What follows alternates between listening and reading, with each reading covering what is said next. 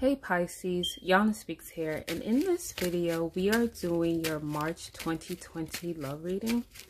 Now, I want to start off by saying that all of my readings are general, so they may or may not resonate with you because not every single Pisces is going through the same exact thing. All right?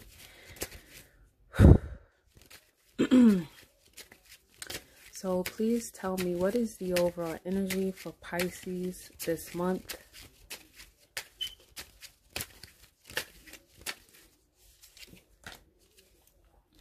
Okay, so we're starting off with the Two of Cups. So the Two of Cups being your overall energy, I feel like you guys feel really in love this month. I feel like you feel like you're with someone that you're very compatible with. You're looking at this person like a soulmate, a life partner, someone that you can grow with, someone that you can build with, someone that you just really, really are romantically interested in, okay? You also have the Knight of Wands. So I feel like you and this person have been through a lot. I feel like you've had a lot of ups and downs. You fought a tough uh, battle with this person. This person may have hurt you, may have endured, you know, bumps and bruises along the way. But I feel like you're willing to fight for this. You have the courage to keep fighting. Um, I also feel like whatever problems you guys had in the past, you know, um, it looks like you're getting closer to completion. So it could be that you guys are deciding to move forward with each other or you know it could be you guys are deciding to walk away from the situation as well even though you feel like this person is a soulmate. I'm going to know as i go deeper into the reading. But i feel like you you feel like you've been through a lot with this person but you know you're you're not weak. You're very strong. You have a lot of courage to to just keep fighting. Okay we have the nine of cups here. So i feel like you are getting some type of wish fulfillment. Okay let's see yeah, you're getting some type of wish fulfillment with this person. Okay. Um, you could be feeling like this person is a wish come true. I do feel like you guys are deciding to make it work. Okay. Because we do have the Three of Pentacles here. So it's like you guys are deciding to be a team player. Deciding to come together. You're deciding to build together. You're deciding to see where things go. We also have death here. So this lets me know that your relationship with this person is going through a transformation. It's like you guys are deciding to put the past in the past, you know, out with the old and with the new, um, going about it in a different way. Um, I feel like some of you may have gone through your own spiritual transformation. Maybe you had an awakening. Maybe you realized things that you were doing wrong. This person realized things that they were doing wrong. But I feel like you guys have decided to make this work. And I feel like this is a relationship that you're very proud of with the uh, Six of Wands here. I'm also seeing some type of public recognition. So it could be you guys showing it, um, your relationship on social media and people saying congratulations. I'm happy for you. Um, that's what I'm seeing here, okay? And I'm also seeing that you guys are really nurturing this connection as well, okay? Now, the only thing I see here, though, is although you guys are deciding to make things work and like put things behind you and embracing like this new change this out with the old and with the new type of thing i do see some type of conflict between you and this person where there would be some type of um like there will be little bickering. There will be little debates. So just be wary of that. I feel like um there's some type of truth you want to express to this person. So my advice would be to try to find um, better ways to communicate with this person, okay? So that it doesn't turn into a fight, all right? So I just want to see how this person is feeling about you.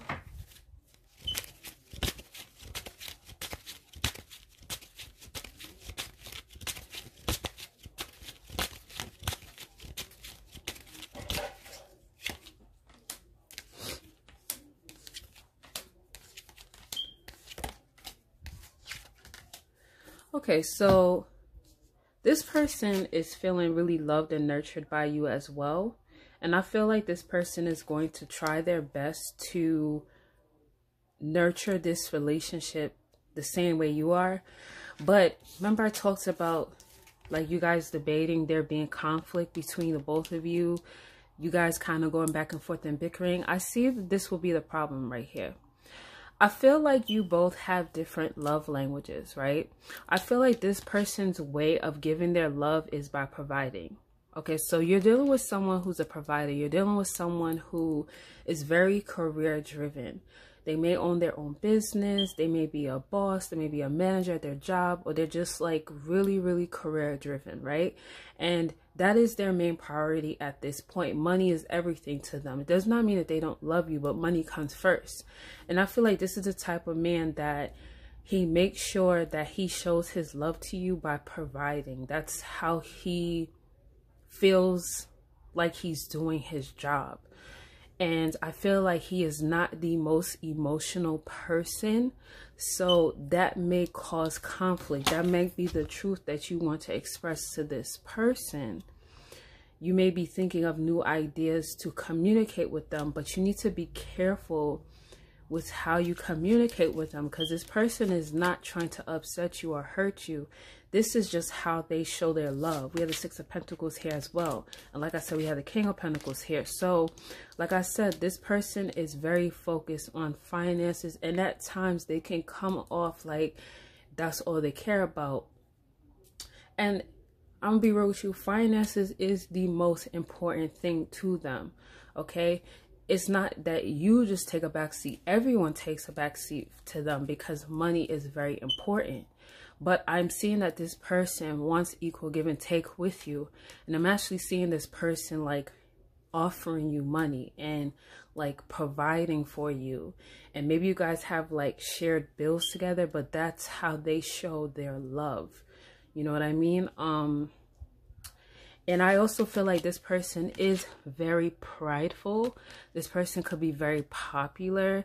So they kind of feel like you make them, you know, look good. So you could be dealing with a man who like, you know, pays for you to get your hair done. Um, pays for your clothes, you know, pays for your nails to be done and likes to like show it off because this person does care about their image, okay? So you have to understand the type of person that you are dealing with. But yes, this person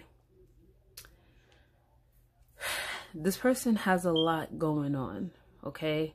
But you are still a priority. You may not be top priority, but this person does care about you, okay? It's just that money comes first hey, that's how some people are, okay? So please tell me what advice do you have for the Pisces?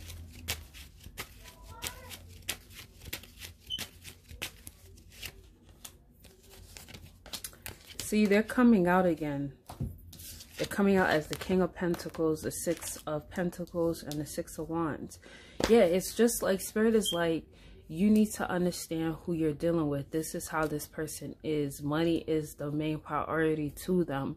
Their public image is the main thing that they care about. I really feel like you're dealing with someone who is really popular. Like they may have a large following on social media or people in your town um, know them. They're like the big man on the campus. Like, like I feel like they're that nigga, okay?